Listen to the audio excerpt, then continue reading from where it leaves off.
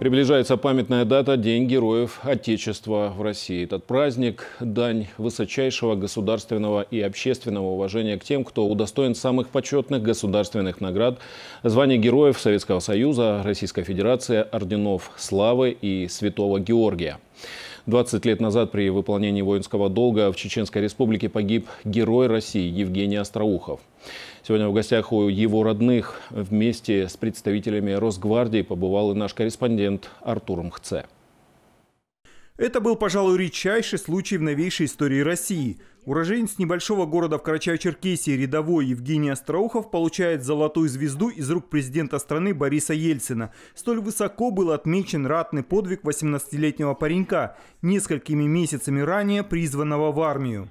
Они попали в засаду, засаду и да. э, оказали сопротивление, воевали. Воевали да. достаточно долго, чтобы подошло подкрепление, чтобы их смогли эвакуировать. Mm. И местные жители их вечером забрали.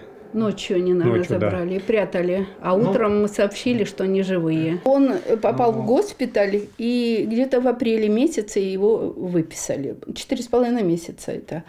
Вот, потом, значит, это его забрали в этом Москву, там наградили. По словам матери, он не собирался связывать жизнь с армией. Однако судьба распорядилась иначе.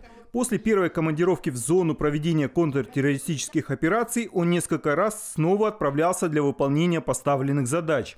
Одна из поездок стала для Евгения Остроухова последней – о ней летом 2002 года он родным не стал сообщать. Сказал, что находится на лечении в санатории. Лейтенант милиции Остроухов трагически погиб во время спецоперации по пресечению действий незаконных бандформирований. Он был э, в жизни простым человеком. Он выполнял задачи так, как э, положено было. Всегда был первым, всегда был лучшим. И он ну, был настоящий. Был настоящий. Это одна из характеристик, которая да. характеризует человека. Он не был там каким-то героем выдуманным. Он был настоящий герой. Человек был, который всегда знал, что делать, всегда был готов выполнить приказ, всегда был впереди всех. Я проходил службу в Северо-Кавказском округе, и я принимал участие в организации, в оформлении э, музея округа Северо-Кавказского в Пятигорске. И когда я делал э, экспозицию по героям Российской Федерации, как бы он был один из первых героев у вас. И он на баннер его самый первый.